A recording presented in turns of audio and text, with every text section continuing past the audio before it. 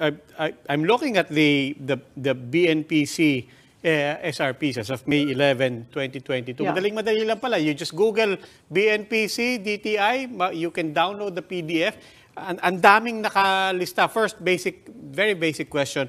How are people supposed to use this? How can they use this? How, how can this be something simple but powerful that people can use, not just for themselves, but also maybe even to help the DTI in monitoring?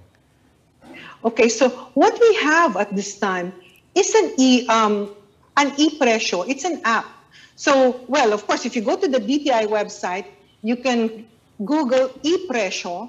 Um, you will now have the list of the BNPCs as well as their price. If you are going to key in your location, it will tell you the prices of a certain BNPC in that area. So makikita mo saan siya pinakamura. So it's something that consumers can use. And um, this is this app was started in 2015, but I think it was only two weeks ago that we upgraded it. So we have a 2.0 version.